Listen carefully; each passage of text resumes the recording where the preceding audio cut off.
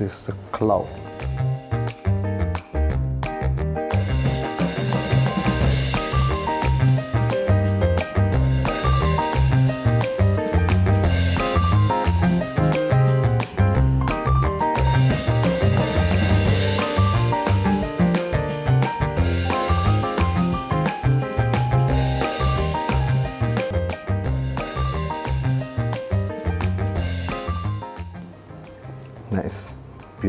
fresh from our pasar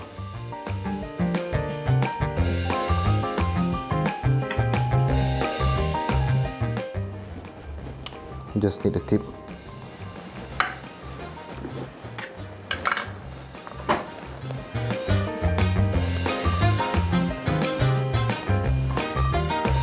Now just relax. the pot is too small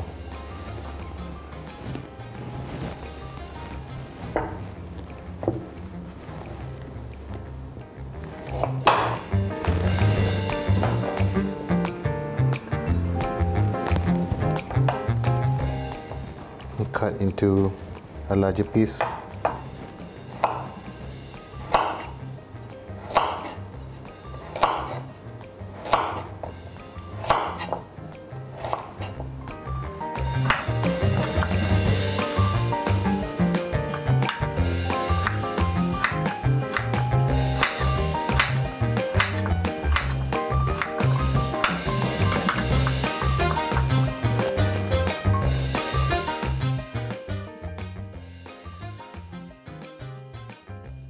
We're dice big pieces of potato, potato, potato, potato, whatever you want to call it. Cut into half. I'm gonna use the skin.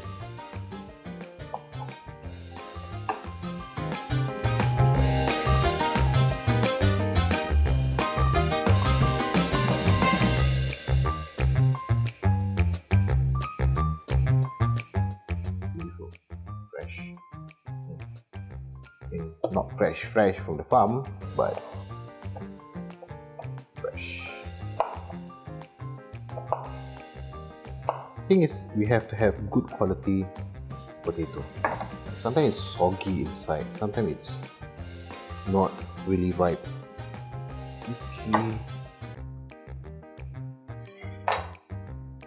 Gonna transfer into a bigger pot.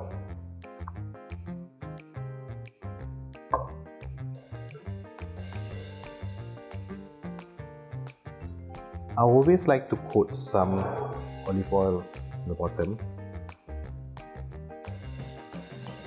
Okay, then I'm gonna pour all the veggies I had just now. Mix them up nicely. Another round of olive oil on top of it. Good amount. Some balsamic vinegar.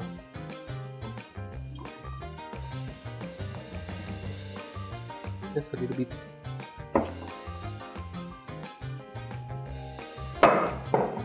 Pepper, good amount pepper.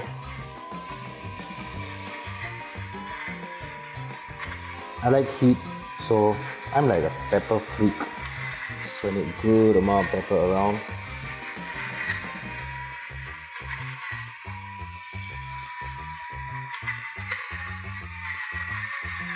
Yep, enough. Salt.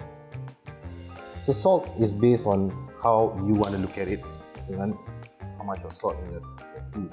So I'm not salty person, so enough to cover my veggies.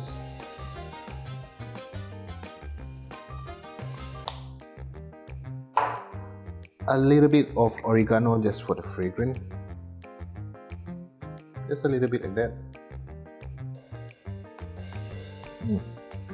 Smell of it is so nice. Dried oregano. Okay, and we are done over here. So just give them a mix, a toast.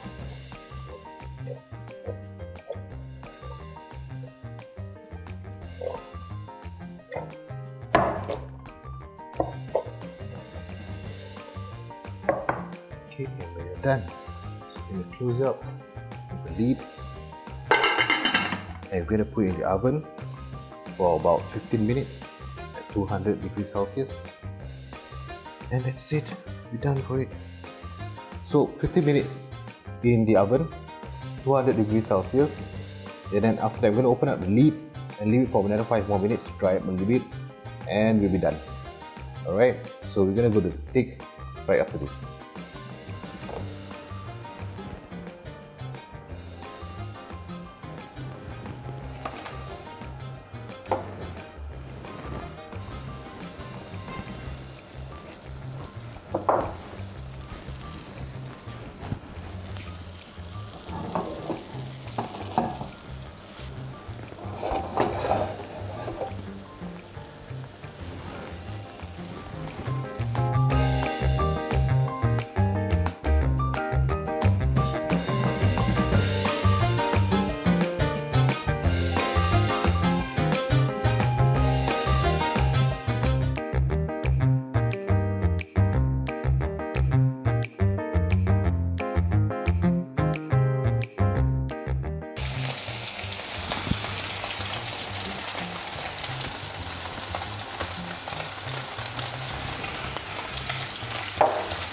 More pepper.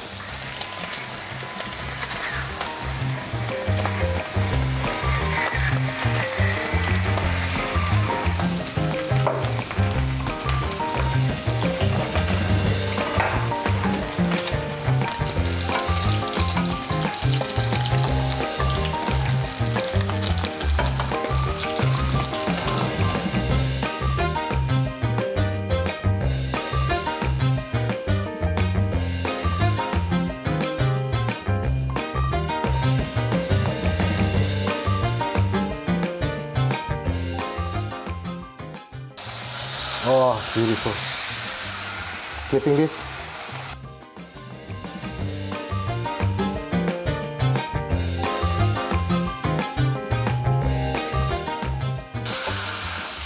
Okay, we are done here.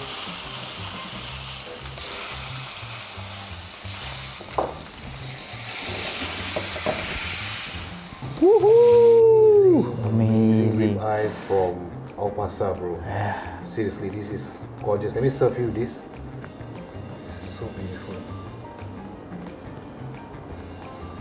Look at the cross section of it. So this is medium, right? Yep, medium rare. Medium rare. So medium rare, there's a bit of pinkish inside there. Yes. We're gonna have some. These two. This is black Angus. Black Angus ribeye. Yeah, Oh, US black Angus. bro. So this is normal ribeye. But this is still fine, I tell you. It's So still. the, uh, yeah, the normal ribeye, I actually made it medium. So Okay. it's on the side here. So you can see the cross section over here. Here's the medium. Beautiful. Take some of this. And Take I did roast some Take rest. veggie. And give you some of this. Take lah. Corner. Whew. So I roast baked some broccoli and Bake. carrot. So do you put anything with this broccoli? Just salt, pepper, That's it. Olive oil. olive oil, Olive oil. some balsamic vinegar. Ah. Let's enjoy meat today. Yes. Thank you for for inviting. So let me big. serve you some pepper first. Ooh. Wah. like a boss. Yeah, brother. Where you get this, yeah? Shopee, yeah? Uh, I know I got a gift from my friend. So it's So you automatic. yes, it's Once you tilt it, That's right. You want some more you salt? just have to show, yourself. Show off that one, huh? So salt Yeah. automatic, yeah? Yeah, salt not. Okay. If salt automatic, then it'll be too salty.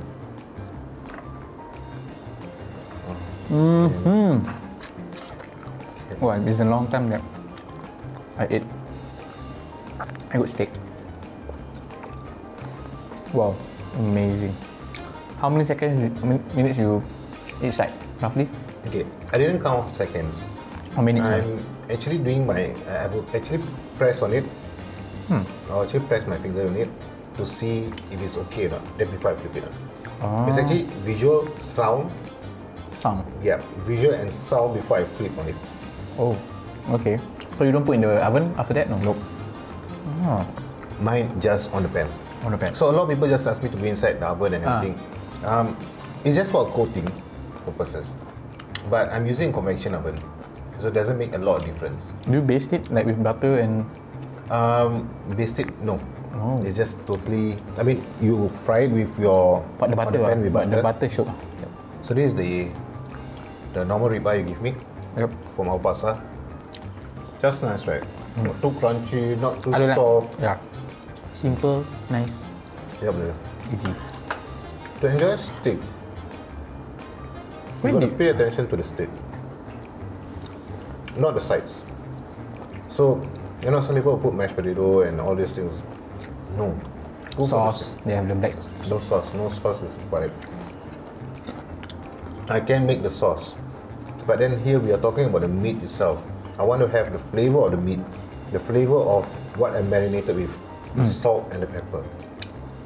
This is good enough. The beef flavor just brings to bring the flavor out. Yeah, I'm. I mean, being a carnivore, this is amazing. Meat, I prefer yeah lamb. My dad love lamb. Lamb, right? Yeah, lamb rack, lamb chop. Yeah. Beef not so. But I like the like Okay. daging pindang. That's the only thing that. So far, there is no problem eating your beef. I like the beef. I mean, it's so good. Right. You're not very professional chef, lah. I'm a self-trained chef, trying this and out, learning from people, and I can do this at home. And the pepper pepper machine, eh? eh, but your pepper got. You were mentioning So there's white pepper in there, white. white, black, red, I didn't got green. red pepper. eh. green, red pepper and green pepper. Green. eh? Okay, I just have to try this. This is dope. Eh? okay. So in fact, at our pasar, we have different yeah. different type of meats to cater to different Okay. budget. lah. Okay, tell me about it.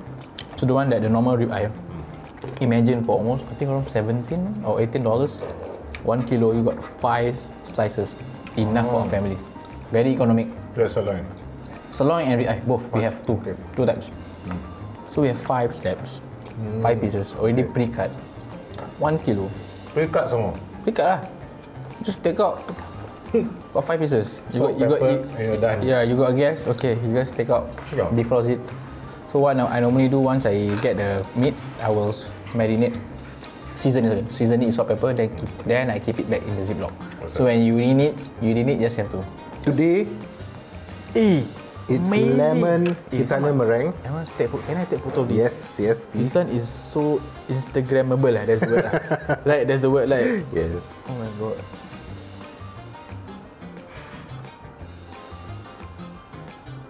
Oh, and all these flowers are real. Yes, they're all edible flowers. Hey, I remember this red flower. I don't know what's the name, but you know, you can suck the. Exora, that's right. Exora, is it? Exora. When we were kids, right? They Yeah. always pluck this thing and suck the uh, nectar. Yeah. And then you got a blue pea, and this oh, is got lavender. uh, What's the smell? Lavender. yeah, lavender. Lavender pots. So is it? vanilla Italian meringue goes very very well. I mean, sorry, Ita- uh, lemon Italian meringue goes very well with lem- uh, with lavenders, Take lavender flowers. for my TikTok. Okay, let me get for your plate, and gonna cut for you piece. And also my teh tarik. Bro, your suji cake have evolved from the traditional buy suji cake Yes, become a Italian, is it? Oh, Um, Fred. not really Italian. It's it's not an Italian stuff. I Yeah, mean, only the Angmo, Italian Angmo, meringue. Angmo suji cake I call it lah. I just uh, improvise to make it look better, more Meringue. modern, but still with the original suji cake underneath. So this is lemon Italian meringue. Lemon ah, how so the okay. lemon zest, Ooh. right? And then the top was blue torch. Blue torch. Yes. So we got caramelized Italian meringue. I remember those time where you were so frustrated of of getting the perfect recipe. Wow, Come on. look at that. Wow. Hmm. Oh, flashback. Flashback tu? Where you were in Italy? No. when I came here, Ah, craving for your suji cake. Or, or those days where you just, eh, are you around the area? Come, got suji cake because you were doing your R&D. I become your guinea pig to test. too soft, too hard. But it's still nice to me, but it's not nice to you. I don't know, but so funny here it is. wow. Amazing, right? Yep. You're enjoying too much my food already, yeah? Of course. Now we want to talk about you. Ah, what is that? Korek cerita a bit. So, you went to, you were with uh, SMCCI. Mm. What were you doing there? I was Before sec- you, I was a secretariat. Then after that, I moved to uh, SME center at SMCI. okay. That's where I was a business advisor, advising about grants and all these Okay. assistance. Yeah. That's how I get to know you. So, Yeah. so then suddenly I heard you left. Mm. Okay. So I want you to tell me what happened from that position. Alamak, that was so long. really? ah? Oh, Yes, uh, just a little bit a gist of it. Okay, before we go to our pasar. huh.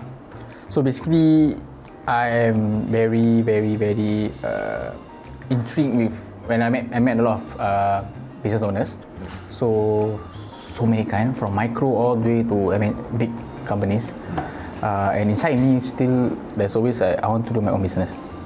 Definitely since young when I help with my uh, family business, you know, I kind of know how it to run business. It's not easy, uh, but the SMCI is a perfect place for me to learn actually. Yep. I took the offer, uh, my old boss was there, so he called me, say there's a job offer. So my, my agenda or my objective is just to learn as much after I freshly graduated. So I just learn as much and I, I think that's a good opportunity for to meet the business owners to know about the government assistance scheme. Good and that's right? where good networking free good. I went overseas bring business owners connection even to across countries yeah. So from there the last one I went to Japan. So that's where I came back. I told myself I think it's time lah and I asked my wife say you think I should leave? And say yeah uh, the time I think it's now is, be- is the best time because um, the kids are still small we just got married so just got the house settled down. I think you can you, want- you want to do do before 35 he told me. Okay so you got you got five years to do whatever. So at, at the time I was around 30 so to- I give you five years do whatever you want. After five then we will uh, call it? Uh, re- relook a review. Okay. where have you, you uh, so okay lah. so fair enough. So she's very supportive. When I got that support I just that- that's it go. What is our pasar's direction right now? Well, we at one point of time uh, we are looking, okay, ah, hopefully to be like the next Amazon, where we have multiple brands. Brands come out to us, especially local. We want to support local brand, right? Uh, where we are one-stop solution where they can just click just one item. Imagine the big brands. Imagine you just want a particular product. We have it all, and it can be delivered to you in the next hour. Yes, we have this other uh, platform like uh, Foodpanda, Deliveroo. There's a lot. Yep. But when it comes to selected local delicacies or products, you know, when you fresh fresh produce, not many carry. How many companies are there that you know that carry fresh seafood? Yeah. 1 a.m. we pick up from the Jurong port, 9 reach your doorstep. How fresh you wanna get? You know? That, And that they are kind- live, right? Oh yes, I we also sell live prawn, live crab, Yeah, yeah. oysters. Yeah, Right, so right, these right. are the things. Uh, our direction also is also to go global lah, to expand to other countries where, which we mean similar model Yep. uh, of groceries, helping the uh, local produce, local farmers to bring them to the uh, residential or even to the uh, businesses. So enough about our pasar, Okay. about business. Now I want to touch something very personal. Ooh, what? So as uh, I want to know a little bit about you, your life, your Mm-hmm. personal life, your struggles on your own. Okay. Right? You want to share? You can share with us. My struggles in studies, I even don't want to. I don't want to continue my studies, but because my late father-in-law said, if you want to marry my daughter, you make sure you have a degree. So that become. Uh, I like to be challenged. Ah, okay. Yeah, I like to Malaysia pantang dicabar, right? Yeah. So, yeah, challenge me. So I told my wife, let's take a course, a degree together. Because my brain really no. I need, okay, I like to beat the system. Ah. And that's me. Okay. Anywhere I go, I will learn the system, beat the system. So basically, yeah, I I took the same course as her. I went, she, she signed the thing. I went into NS two years, come back. I say, okay, best what, what all the project. Yeah, then I just edit and then uh, she forced me to study, take my exam and wait outside. Then we go for our movie date. If not, no movie date. You make sure you go for your exam. That how bad struggles. Wah, I tell you to learn. Yeah It paid off. it paid off. Uh, but yeah, but I'm right now. I also still took just recently took a diploma. Okay. Really learn again. So apply what I learned in Opasa in marketing and learning about uh, digital marketing and digital business, Yeah. which is I feel like my wife said, "Oh, you studying again?" Ah, I said, "Yeah," uh, because I feel that. Uh, uh, I need to be abreast when, when right now as a business owner, uh, when I have people under me, uh, I need to be on top of things. Uh, but it's very interesting uh, when learning about this marketing. It's always uh, I'm very interested in. Uh, It's very uh, colourful. Very colourful. So one of the things when I do, I always seek my parents' uh, barakah, blessings. Especially my mama. Blessings. Blessings. Yeah. KQ, thank you so much for your time. Thank you so much. Thank you so much for bringing Aupasa into the show. You're welcome. Um, and thank you for enjoying the meal. Hey, I should be thanking you for cooking. most welcome, most welcome.